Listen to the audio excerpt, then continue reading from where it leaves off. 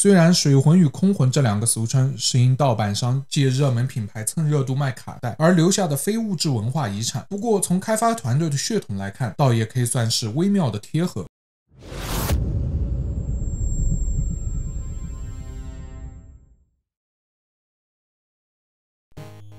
Hello，大家好，我是专注扯闲、热爱跑题的不死鸟秦玄。依照原定的计划，这一期是打算把《武装飞鸟二》的坑给填上的。不过上周回顾第二回 Games 的大赏的视频中，发现有一些朋友在弹幕与留言里多次提到 CPS 一机版的开山之作《失落的世界》就是空中魂斗罗的街机版。其实这是一个因为资讯不发达，游戏观感又极度相似而造成的误会。虽然有些朋友已经知道了真相，不过直到现在还会搞混的朋友，貌似也并不少见。所以本期视频的内容临时更换为《失落的世界》与最终任务的回顾。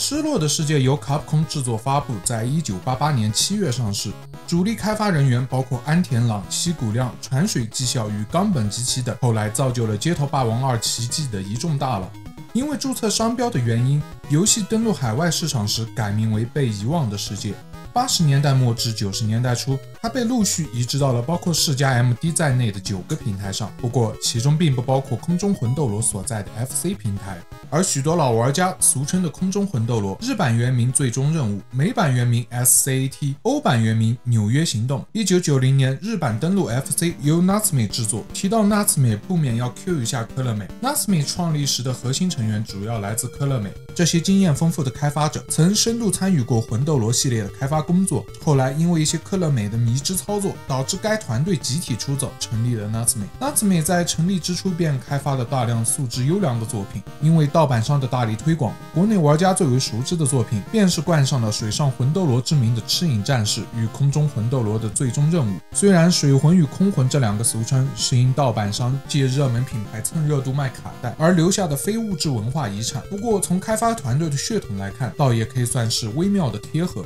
虽然被冠上了魂斗罗之名，不过只要接触过两款作品的玩家都知道，《赤影战士》最终任务的系统与魂斗罗系列的差异实际上还是很大的。赤影战士与其说是魂斗罗，更像是品牌价值让光荣脱裤魔至今还能吃上两口的忍者龙剑传。而最终任务虽说与失落的世界之间并无实际的血缘关系，但是能够造成如此大规模的误会，要说是无心之举，说服力也有限。包括许多国外游戏网站在提到其中一款游戏时，都不免会提到另一款。不过话虽如此，两款游戏乍一看相似性确实极高，都是操作猛男在空中飞来飞去的卷轴 STG。然而两。款游戏实际上手的体验以及游戏剧情方面的差异，简直不要太大。失落的世界使用的基板是后来在大江南北遍地开花的 CPS 一，但是原版游戏的控制设计却并非常见的八项摇杆加普通按键的组合。原版机台左手控制的还是那个常见的摇杆，但是右手需要控制的是一个带旋钮的特殊按键。这个旋钮的作用是对角色的攻击方向以及副武器的位置进行调整。类似的设计其实并不新鲜，SNK 稍早推出的怒系列与古巴战士也采用过差不多的概念，不过当时是将旋钮的功能。集中在摇杆上，失落的世界将视角的操作放到右手来控制，其实会更便利一些。总共可以向十六个不同的角度发起攻击，而副武器的攻击方向与角色保持一致。由于没有接触过原版机台，所以对于这个设计的体验究竟怎么样，我无法做出准确的评价。希望有接触过原版机台的朋友可以分享你们的感受。二零零五年，失落的世界随卡普空经典合集登上了 Xbox 和 PS2，旋钮的设计被更容易操控的右摇杆所替代。最终任务的操作，老玩家就应该很熟悉了。角色自身只能朝左右两个方向发起攻击，副武器的攻击方向并不跟随角色，但是可以在游戏过程中进行调整和锁定。日版需要玩家进行手动调整，美版的副武器在未锁定的情况下，会不断的在角色身体前后自动移动。两个版本都是利用 A 键来锁定副武器的攻击方向。火力升级系统，失落的世界是在商店购买火力，但是火力升级道具只针对副武器，而最终任务所采用的是道具拾取，与前者刚好相反。该作中的火力升级道具只针对角色本身起作用。关于两部作品的难度，作为一个资深手残，两款游戏我都做不到依靠正常手段顺利通关。不过至今我依然觉得日版最终任务的难度实在是让人头疼至极。失落的世界的配乐由河本圭代创作，虽然获得了第二回 Games 的大赏最佳 VGM 第九名，但是游戏过程中战斗音效实在太过嘈杂，导致他声音方面的整体表现并说不上很好。而最终任务的配乐由真青红创作，他曾是举行波俱乐部的成员。虽然这个名字或许不算太响亮，但是对于老玩家来说，他的作品肯定听过无数遍。FC 版魂斗罗的配乐就是由他与前泽秀宏共同创作的，所以最终任务的配乐给人的感觉总是带着熟悉的味道。而剧情方面，一个讲述的是带有一丝荒诞气息、糅杂的各种怪力乱神的幻想故事，另一个则是近未来抵抗外星人入侵的故事。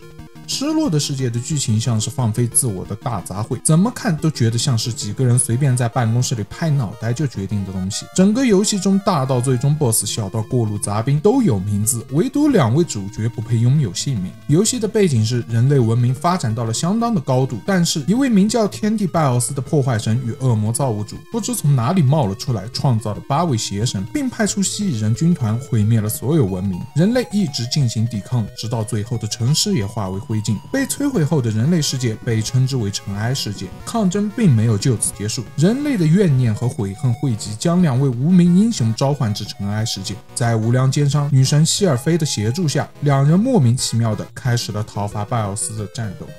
游戏共分为九个关卡，四个阶段。四个阶段分别是人类现代文明的遗迹尘埃世界、古代人类文明的代表图坦卡蒙的金字塔、元素过于混乱的天界，以及最终关卡拜奥斯所在的巴别塔。第一阶段的各个 BOSS 是人类文明毁灭后尘埃世界中的霸主。第一关的 BOSS 草履虫是一个只有神经体的怪物，负责管理已经陷落的尘埃世界。第二关的 BOSS 成龙是在征服尘埃世界中非常活跃的成龙族唯一的幸存者，不过经历战火的他，身体已经全部腐烂。第三关 BOSS 是从拜奥斯手臂中降生的巨大武神像，正是他率领蜥蜴人展开了对人类的进攻，现在是尘埃世界的主宰。第二阶段的敌人是被天地腐化的古埃及神明。第四关与第五关的 BOSS 就会根据分支路线选择的不同，登场顺序也会有所差异。古埃及太阳神拉所乘坐的太阳船被拜奥斯封印了善之心，守卫着金字塔中的壁画。斯芬克斯也就是著名的狮身人面像，不过他会有一个与大家熟知的形象完全不同的第二形态出现。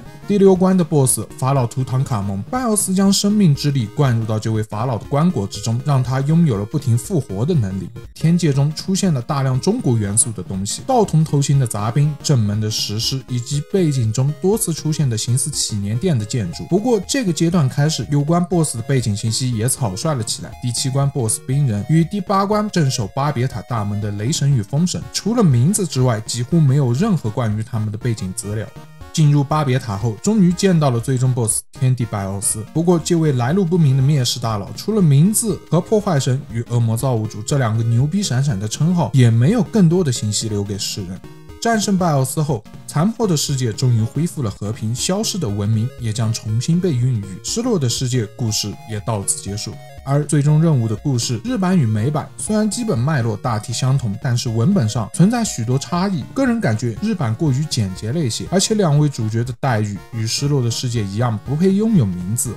在这个时代，人类已经忘记了和平的意义。在毫无征兆的情况下，世界受到了突然的袭击，巨大的光束从天而降，摧毁了一座又一座城市。之后，巨大的太空舱降落在地表，敌人开始了他们的征服。一切的抵抗都是徒劳的，整个世界都落入了未知敌人的手中。两位勇士作为地球最后的希望，经过五个关卡的激战，摧毁了敌人的基地，世界也就此恢复了和平。美版的故事虽然是比较老套的，在大漂亮的领导下，英雄冲锋陷阵，战胜了邪恶外星侵略者的故事，相较日版要更丰满一些。首先，两位主角取了两个蹭热度的名字：阿诺德和西格尼。前一位是大名鼎鼎的州长，后一位则是异形的女主角，都是当时美国顶流的动作明星。游戏的剧情大致如下：外星军队的最高指挥官马尔默特一直监视着人类，等待全面发动入侵的适当时机。二零二九年，他终于寻找到了地球。求防御的薄弱环节开始下令进军。美国总统收到了入侵将至的消息，在会见了所有大国领导人后，组建了一支可以保卫地球的特种部队 SCAT，也就是美版游戏名字的来源。人类的未来掌握在 SCAT 两位精英成员的手中，关乎人类存亡的战斗就此开始。在成功摧毁了敌方基地后，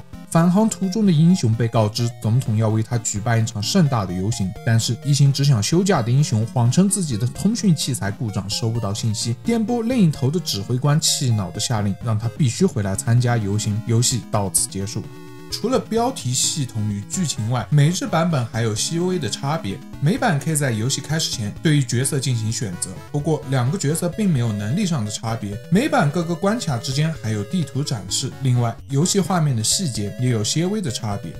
最后闲扯一句，江湖传言娜慈美当初出走时对老东家的积怨极深，但是在维基百科最终任务条目中注明该游戏一九九二年在澳洲推出时，发行商是科乐美。不过由于所能查到的资料有限，这条信息的真伪暂时无法验证。本期视频到这里就全部结束了。如果你喜欢这个视频，记得点击三连并关注我。你的简单肯定与支持对于我都有重要的意义。作为一个新人 UP，我会继续努力带来更好的内容。如果你对本期视频有自己的见解或意见，请务必在下方留言或弹幕告诉我。谢谢观看，下期再见。